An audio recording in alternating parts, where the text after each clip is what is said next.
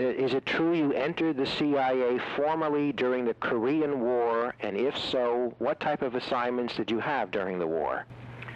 Well, I went into the CIA right after the start of the Korean War in the summer of 1950 because I thought that I'd be back in service in some fashion. I was a reserve officer. I might as well do something that I knew something about, like CIA, rather than go off into the artillery that I'd left a number of years before. That's right. So instead of sending me to Korea, they sent me to, to uh, Stockholm. Hmm. And in Stockholm, it was my job to work with various people in that neighborhood to prepare for the eventuality that the Soviet forces moved and took over Western Europe. Yes. And we would then have the job of producing a resistance underground uh, the way we had during World War II. And the question is, could we make that job a little easier by doing a little work ahead of time? And had obviously keeping it secret because uh, you didn't want to announce it because if any invader took over, they would immediately arrest everybody. Sure.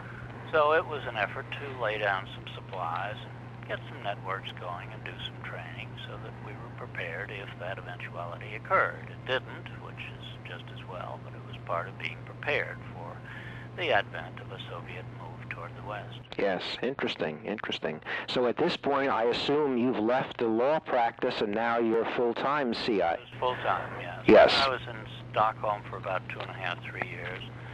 And then I was asked to go down to Italy for the mid-1950s, where I participated in the very serious political struggle we had there between the communists and the, and the center democratic parties of Italy, Yes. and, uh, helping our side, the democratic elements, not the right wing or anything, but the, but the center, Christian Democrats, Social Democrats, and so forth, to stand up against the communist subversive effort, which the Soviet Union was paying for and stimulating. Yes.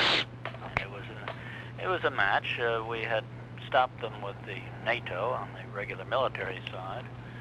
We had stopped on the economic side with the Marshall Plan, and the question is, well, could they take us over subversively?